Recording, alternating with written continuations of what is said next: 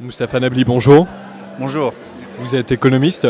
J'aurais voulu savoir votre, euh, connaître votre opinion sur euh, l'idée d'une- d'une d'une économie qui se satisferait de l'absence d'une visibilité politique. Vous savez, c'est une question très pertinente parce qu'on est en Tunisie aujourd'hui euh, dans une situation euh, qui est tout à fait de ce type-là. On a un manque de visibilité politique depuis euh, un an et demi, de deux ans. Et euh, on ne sait pas quand est-ce qu'il y aura les élections, quand est-ce qu'il y aura la fin de la Constitution, etc. Et c'est fatal parce que cela crée un climat d'incertitude, euh, un climat de manque de confiance qui est très nuisible à, l'économie. Très nuisible à l'économie parce que l'acte d'investissement est reporté, euh, même l'acte de consommation est reporté.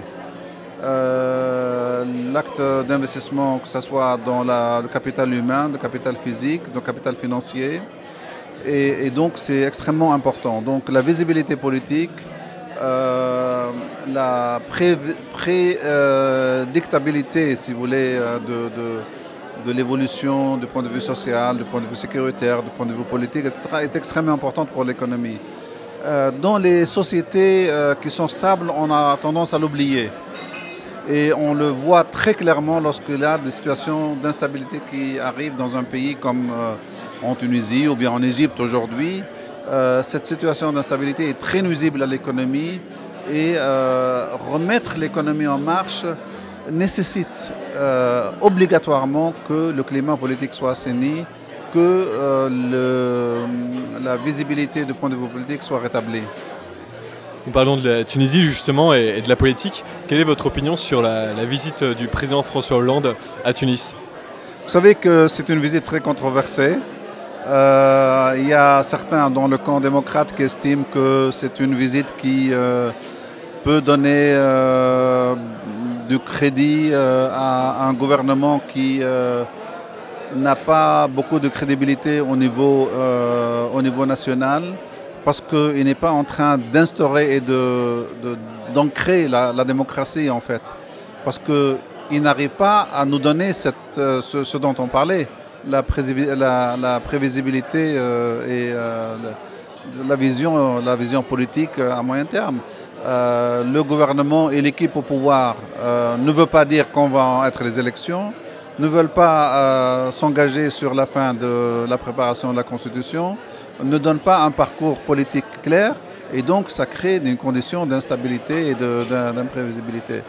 Et donc les, les démocrates sont un peu inquiets de cela, surtout qu'il y a des tendances à l'instauration d'un État théocratique qui ne respecte pas les droits de l'homme, qui ne respecte pas les libertés, etc. Donc il y a beaucoup de critiques à ce point de vue-là. Donc j'espère, ce que j'espère, c'est que le président François Hollande arrive à trouver un équilibre. D'un côté, à montrer un soutien à la Tunisie, montrer un soutien au peuple tunisien, sans euh, en même temps euh, donner, euh, si vous voulez, beaucoup de, crédit à, l'équipe qui est au pouvoir, qui ne bénéficie pas nécessairement d'une large, d'un large soutien populaire. Alors il y a une expérience politique, mais il y a également une expérience économique. L'innovation, la créativité sont souvent avancées comme des, thèmes qui permettent de résoudre une situation de crise. En même temps, ces, thèmes sont aussi euh, peu rassurants pour les marchés, ou peuvent l'être. Quel est votre avis sur cette question? Moi, je ne pense pas que l'innovation, euh, je ne pense pas que l'innovation soit non rassurante. Au contraire, Euh, moi, je suis de ceux qui pensent que même dans une situation de- d'incertitude comme celle de la Tunisie aujourd'hui, ou même de l'Europe aujourd'hui, l'innovation, c'est une des clés du progrès et d'une des clés de la croissance. Et donc, je ne pense pas que ça soit un handicap euh, pour l'investissement, pour l'initiative, etc. Au contraire, les nouvelles idées, parce que je vois l'innovation dans le sens large du terme. Pas l'innovation technologique, l'innovation institutionnelle, l'innovation euh, au niveau de l'entreprise, l'innovation dans le domaine de la gestion, l'innovation dans la politique économique, l'innovation dans, dans le domaine politique même, dans l'instauration d'un climat politique, euh, etc. L'innovation, à mon sens, c'est la clé du progrès. Et donc, l'innovation ne peut pas être négative. Elle doit être positive.